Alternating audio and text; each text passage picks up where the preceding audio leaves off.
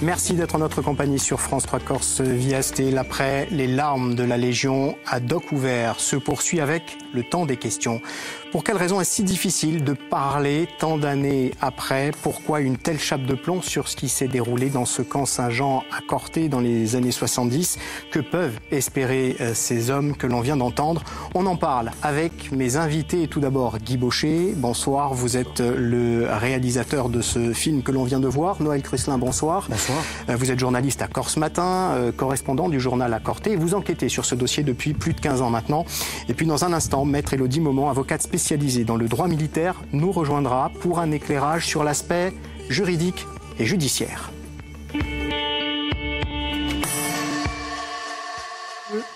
Merci d'être en notre compagnie ce soir. Guy Baucher, comment et pourquoi avez-vous travaillé sur ce dossier euh, si complexe et autour duquel règne un tel silence, euh, le dossier de la section d'épreuves de la Légion étrangère de Corté?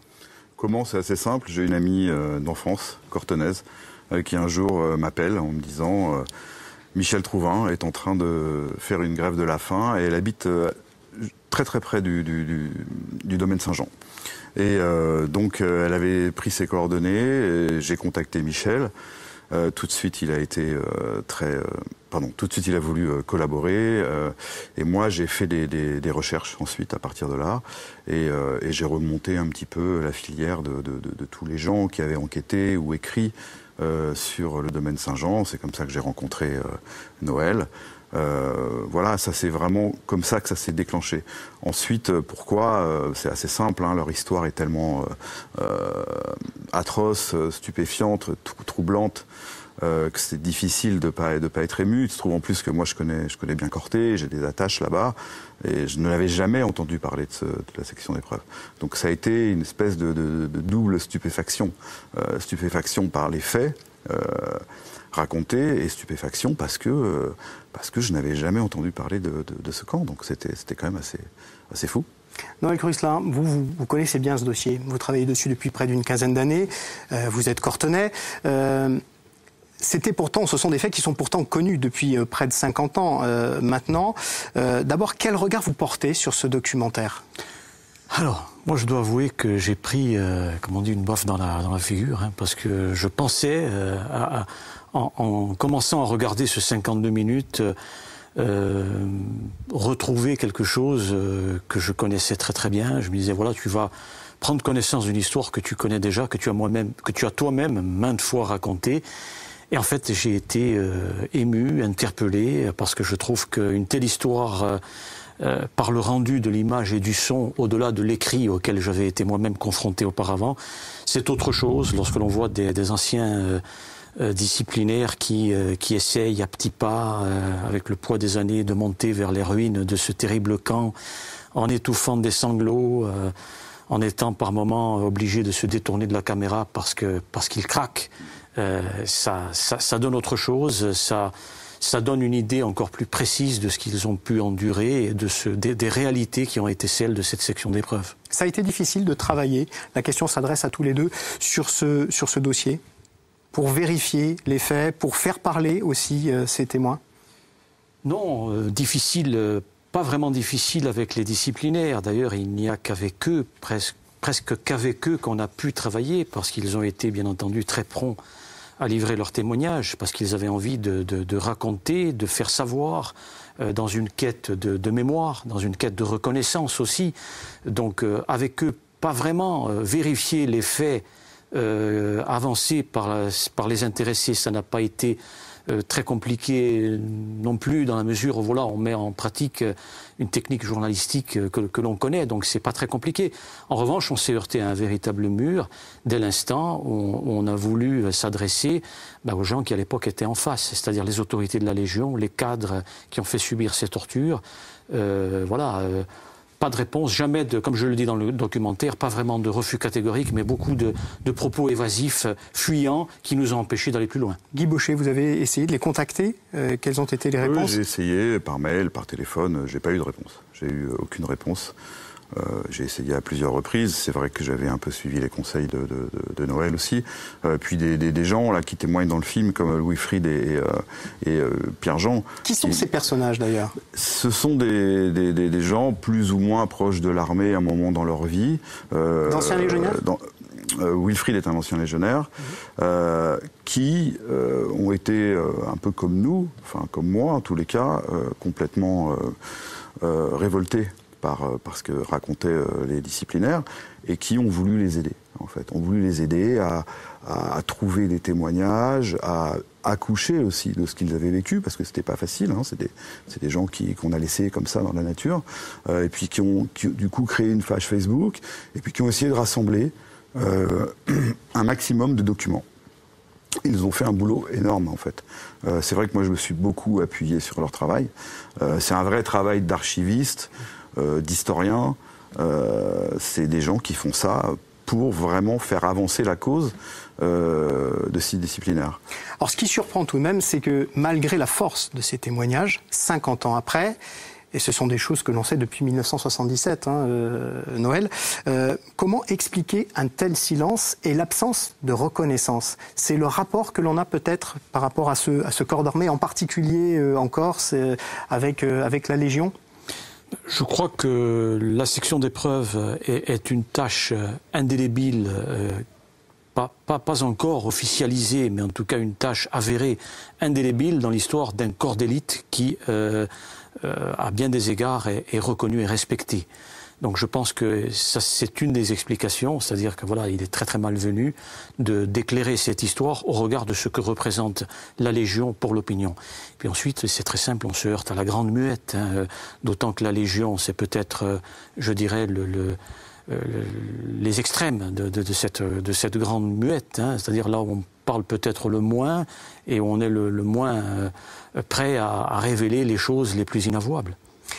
Qui sont ces cadres ces officiers, peut-être des sous-officiers, qui étaient à la tête de cette section d'épreuves. Est-ce que vous, par exemple, euh, Noël, dans le cadre de ces 15 années euh, où vous avez enquêté régulièrement euh, sur ce dossier, vous avez, eu vous avez réussi à savoir qui, étaient ceux qui étaient à la tête de, ce, de cette section? Oui, il y a des noms qui, sont ressortis dans les écrits, dans les, dans les ouvrages, hein. des noms de, de sous-officiers. On sait par exemple qu'il s'appelle comment déjà Helmut Strauss, c'est bien ça, hein, voilà, euh, a été le premier euh, commandant de la section d'épreuves et le seul sous-officier d'abord, un adjudant-chef. ensuite, il y a eu des capitaines qui lui ont succédé, mais on ne sait pas grand-chose sur la personnalité de ces gens-là, à l'exception du fait qu'ils étaient de véritables tortionnaires et qui ont fait dévier le règlement. Car quand on regarde bien le documentaire, euh, lorsque Wilfried Schoen explique euh, ce qu'était le, le, règlement disciplinaire de l'époque par écrit, et ce qui s'est passé à la section d'épreuves, on se rend compte qu'il y a eu une véritable dérive, le véritable zèrement, et que les officiers et les sous-officiers qui justement ont été aux commandes de cette section d'épreuves se sont emparés de cet outil pour en faire un instrument de torture, alors qu'à la base, ça n'était qu'un outil de, outil disciplinaire au service de la remise dans le droit chemin des plus récalcitrants, je dirais. Et moi, ce que m'a raconté euh, Wilfried, justement, c'est que ces cadres étaient souvent aussi les plus mauvais. C'est-à-dire qu'on avait mis euh, à la Légion à la, pardon, à la section des, pardon, on avait mis à la section euh, des, gens qui devaient faire leurs preuves, justement, aussi au niveau de l'encadrement. Donc finalement, euh, euh, c'était des gens pas très compétents, euh, assez portés sur l'alcool, d'après ce que racontent les disciplinaires. Euh, donc on avait un espèce de, de, de, de, cocktail comme ça, explosif, quoi. Des gens pas très intelligents, un peu portés sur, sur la boisson, livrés à eux-mêmes, isolés, sans aucun contrôle. Isolés, aucun contrôle ah, de la hiérarchie. Oh, bah, non, non, non. la section d'épreuve avait totalement échappé aux autorités de la Légion. Et c'est pour ça que les, que les choses que l'on connaît, dont on parle, se sont passées. Alors, dans le documentaire, à plusieurs reprises, est évoqué un procès. Euh, que sait-on de ce procès et, quand a-t-il ou aurait-il eu lieu Pas grand-chose. Moi, ce que j'ai pu euh, glaner, c'est simplement euh, une juridiction marseillaise, donc les bribes que l'on a pu recueillir de la part de gens qui n'ont jamais voulu s'exprimer publiquement, c'est que des têtes sont tombées, et apparemment de, de, haut gradé. Hein, Euh, voilà, donc euh, il y a eu une enquête, euh, il y a eu des, des, poursuites, il y a eu des condamnations, parce que lorsque la, la, la, la, justice et la police ont mis les mains dans le dossier après la fermeture du camp en 1976, il y a eu des recherches, il y a des, des, des, pelles qui sont montées fouillées, qui ont trouvé des corps. Voilà, donc on a eu la preuve que les tortures étaient allées bien au-delà des tortures et avaient entraîné la mort de certains disciplinaires. Donc ça, ce sont des faits qui sont avérés. Euh, qu'est-ce qui s'est exactement passé, qui a été, euh, qui, a, qui, qui, a, été poursuivi et qui a été puni, euh, là, ça reste un point d'interrogation. Ça reste aussi l'enjeu peut-être pour les années à venir d'essayer d'aboutir à avoir des éléments plus précis sur ce qui s'est sur ce qui s'est joué de, de ce côté-là, y compris euh, en ce qui concerne cet éventuel procès. Bah, évidemment, moi j'espère euh, que ce film pourra peut-être provoquer euh, au niveau des autorités, ce qui pourrait peut-être faire réouvrir euh, des archives, euh, provoquer une réouverture des archives, puisque j'imagine qu'elles existent. maintenant, c'est une décision, on va dire, politique en fait. Alors justement, je vous propose de poursuivre cette émission. Noël Cruslin, merci euh, d'avoir participé. Euh, va nous rejoindre maintenant sur ce plateau Maître Elodie Moment, avocate euh, spécialisée dans le droit militaire, pour évoquer les aspects judiciaires et juridiques. Maître Elodie Momont, bonsoir. Merci euh, de votre participation à cette émission. Je rappelle que vous êtes donc spécialiste du droit militaire. Euh, ces trois hommes, Luc Rosier, Daniel Potier, Michel Trouvin, que peuvent-ils espérer aujourd'hui? Alors en pure euh, procédure pénale ou droit pénal, malheureusement, je crains que la prescription et que le temps qui s'est écoulé pendant euh, ces 50, euh, presque 50 années ne leur permettent plus aujourd'hui de mettre en œuvre l'action publique, qu'un procès s'ouvre par rapport aux sévices et aux traitements, aux tortures que eux ont manifestement subis. En revanche, et moi c'est ce que je vois dans ce film, ils sont dans une recherche de recouvrer leur dignité. Et je crois que il peut y avoir euh, œuvre pour les aider à recouvrer cette euh, dignité. Comment on peut recouvrer euh, une dignité si on ne peut pas euh, intenter une action euh, en justice? Alors, euh, les parlementaires peuvent s'emparer de ce sujet. Euh, il y a eu des commissions d'enquête parlementaire qui existent. Euh, une parlementaire, euh, Madame Marie-Lise Lebranchu, ancien garde des Sceaux, avait fait un rapport en 2010 sur la Légion étrangère, sur ces dérives de l'époque constatées. un parlementaire, des parlementaires peuvent s'emparer du sujet, s'inquiéter, vérifier. Le ministre, le ministre des Armées, peut également s'emparer du sujet, vérifier si oui ou non dans les archives euh, dans le dépôt euh, d'archives, euh, des archives pénales militaires, ce fameux procès y figure ou non. Il me semble que l'opinion publique peut aider et le pouvoir politique peut s'emparer de ce sujet. On l'a vu avec, par exemple, la guerre invisible, où à un moment donné, où on avait mis à la une toutes les violences sexuelles faites aux femmes, où là, on a eu une mesure d'enquête avec le contrôle général des armées qui avait pris le sujet, qui avait été désigné par le ministre pour vérifier quel était le sort de ces procédures. Donc ça me paraît possible aujourd'hui, en tout cas juridiquement, c'est ouvert. Vous, en tant qu'avocate, comment avez-vous euh, ressenti, perçu euh, et reçu euh, ces témoignages euh, que l'on a entendus dans, dans, le film de, de, de Guy Baucher Sont-ils crédibles et, et, dans quelle mesure, justement, ils peuvent aujourd'hui être enfin entendus? Alors, déjà, ils sont corroborés. C'est-à-dire qu'on a euh, trois, euh, à minima, euh, trois témoignages, plus malheureusement, je crois, d'autres, dont un autre qui est décédé depuis, euh, qui euh, racontent la même chose, euh, les mêmes sévices, la même façon de procéder. Et surtout, moi, ce qui, ce qui résonne en moi, en tant qu'avocate, mmh. Qui exerce maintenant depuis de nombreuses années, c'est cette résonance par rapport à ce que moi, les, les clients légionnaires dont j'ai pu défendre la cause, notamment sur les conditions d'exécution de leur jour d'arrêt, de punition, c'est cette résonance. Alors évidemment, euh, pas dans les mêmes euh, proportions, pas dans cette gravité euh, que l'on voit aujourd'hui dans ce reportage, mais il y a des résonances, euh, des mots qui résonnent, euh, l'écrou, la levée d'écrou, la police militaire, la patrouille militaire. Ces mots me font assurer, enfin me rassurent et me confortent dans l'idée que ces témoignages sont totalement crédibles. Ces hommes qui sont souvent perçus comme étant des surhommes, je parle des légionnaires, un corps d'élite, euh, est présenté comme tel, une véritable institution, on a le sentiment que ce sont des sous-hommes. Euh, leurs droits humains ne sont pas ou très peu reconnu. Alors, euh, manifestement, à l'époque, euh, c'était le cas, euh, ne serait-ce que pour avoir fait subir ça, même s'ils étaient, même s'ils méritaient, entre guillemets, une sanction disciplinaire. Ce que l'on a entendu tout à l'heure, c'est qu'on était là dans la dérive de l'exécution des sanctions disciplinaires. les légionnaires, aujourd'hui, sont dans un régime d'exception. ils sont dans un régime d'exception encore aujourd'hui. Et effectivement, pour reprendre vos mots, on peut s'interroger sur le fait qu'ils ne bénéficient pas des mêmes droits. Il y a plein de problématiques qui se à eux. Euh, la problématique de leur entrée sur le territoire, de leur identité déclarée, des circonstances dans lesquelles ils peuvent euh, rester sur le territoire. Euh, un, légionnaire, il rentre.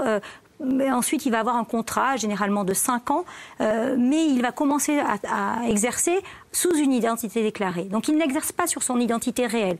Il peut la recouvrer ensuite, mais quid de son statut juridique pendant cette période où il n'a pas son, son identité réelle La reconnaissance de ses enfants, euh, euh, s'il lui arrive quelque chose, qu'en est-il euh, Et c'est surtout les conditions du séjour. il faut être clair, aujourd'hui à la Légion étrangère, c'est aussi une source euh, de, travail euh, euh, presque clandestin, si je puis dire. En tout cas, une source pour des étrangers de revenir en France. Certains vous répondront quand même que l'armée, pour des raisons eh supérieures de l'État, doit aussi bénéficier d'un régime dérogatoire. Elle ne peut pas être soumise aux mêmes, aux mêmes règles, sans doute, que, que les autres citoyens. Est-ce que ça ne fragilise pas, en quelque sorte, l'institution? Ou au contraire, est-ce que reconnaître, par exemple, ces hommes euh, aujourd'hui dans leur, dans leur dignité, c'est rendre aussi euh, toute sa noblesse à cette, euh, à cette arme? moi, moi, je le crois profondément et sincèrement parce qu'en plus, là, on, est en train de parler de dérive. On ne parle pas de ce qu'est la Légion, de ce qu'elle a d'admirable, d'honorable et de ce qui fait que des hommes s'engagent. Je, rappelle quand même que quand on, s'engage dans l'état militaire, c'est un des seuls métiers au monde, avec les pompiers, pour certains qui ne sont pas militaires, où on s'engage jusqu'au sacrifice suprême. C'est-à-dire qu'on a des hommes qui vont parfois traverser le monde pour venir s'engager euh, pour notre patrie, pour notre nation, mais jusqu'au prix de leur mort euh, possible. Donc à minima, euh, on peut, à mon avis, euh, le ministère, euh, les anciens de la Légion, enfin, seraient forts justement de, venir reconnaître qu'il y a eu des difficultés, que c'est, ce sont des, excès inacceptables qui doivent être condamnés. alors s'ils ne le sont pas par la justice militaire, ils peuvent être par le pouvoir politique, par l'opinion publique, par le ministre lui-même pour que justement, pour ces hommes-là qui ont souffert là, ces souffrances-là, ils puissent être entendus. C'est l'attente que vous avez entendue à la fois du côté des, trois témoins, des anciens de, qui sont passés par la section d'épreuves, euh, mais aussi par euh, Wilfried. À un moment donné, c'est pas, ils veulent pas attaquer la Légion, c'est pas la Légion qu'ils attaquent. Au contraire, c'est lui donner davantage de, de, force. L'idée, c'est de dénoncer euh, la dérive à un moment donné, à un endroit donné la dérive de certains cadres. Et l'idée de ce film et l'idée des témoins, des témoins du film, ce n'est pas de dénoncer l'armée, pas du tout.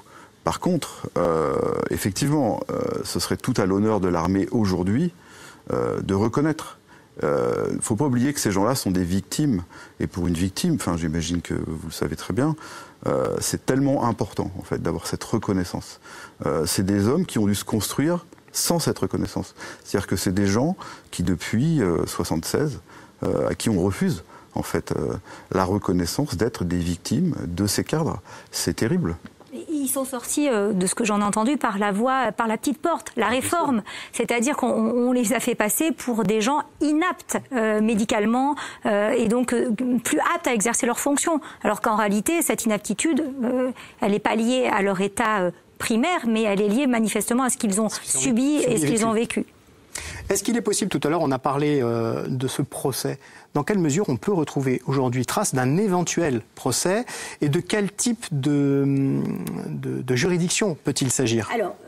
A priori, euh, donc il y a euh, en France euh, le Code du patrimoine qui régit l'accès aux archives. Il y a un dépôt central des archives pénales militaires au blanc qui existe. Alors normalement, pour que ce soit accessible, c'est 50 ans lorsque les données sont conservées par le, le secret de la défense nationale et parfois 75 ans en matière de justice.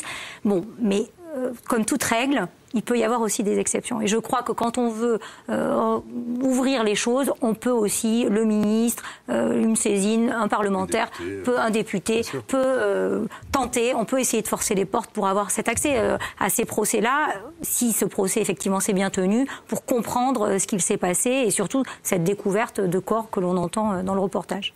Guy Baucher, est-ce que sur cet aspect-là, justement, du travail qui peut être fait auprès de, de parlementaires ou auprès de membres du gouvernement, euh, vous avez des éléments Est-ce que les choses avancent ou pas? Écoutez, moi j'ai le député de Haute-Corse qui m'a euh, demandé s'il y avait exactement s'il y avait d'autres euh, d'autres exemples de camps de la Légion qui avaient connu des dérives, d'autres exemples en France. lui, dans ce qu'il m'a dit dans notre dernière discussion, voudrait peut-être, si jamais il y a suffisamment d'éléments, ouvrir une enquête parlementaire.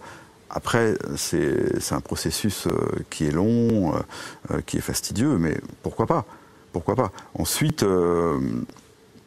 j'espère que ce film, justement, va interpeller des hommes politiques. Parce qu'après tout, on est en Corse, il y a des députés, les gens se sont déplacés. Hein. Jean-Félix Aquavive et, et Siméone se sont déplacés pendant la, pour rencontrer Michel Trouvin pendant sa grève de la faim.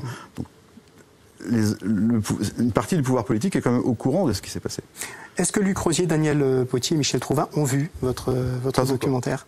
Pas encore. Merci à tous les deux d'avoir euh, participé à, cette émission. On l'a évoqué euh, souvent euh, ce soir, la Légion étrangère reste un corps d'armée particulier, une institution à part. On vient de voir une partie sombre de son histoire. La Légion fascine encore et chaque année, des hommes de différentes nationalités décident de s'engager dans cette arme. Le recrutement se fait à Castelnaudary, en Occitanie, mais l'un des camps de la Légion est toujours installé à Calvi, c'est celui du deuxième REP. Sont les motivation de ces jeunes hommes. Pour quelles raisons veut-on s'engager dans la Légion? La soirée sur Viastel continue avec Légionnaire toujours, un film de Damien Muratel, un documentaire à voir et à revoir comme votre film Guy Baucher, Les larmes de la Légion, sur la plateforme France TV. Merci à vous deux. Bonne fin de soirée sur France 3 Corse Viastel.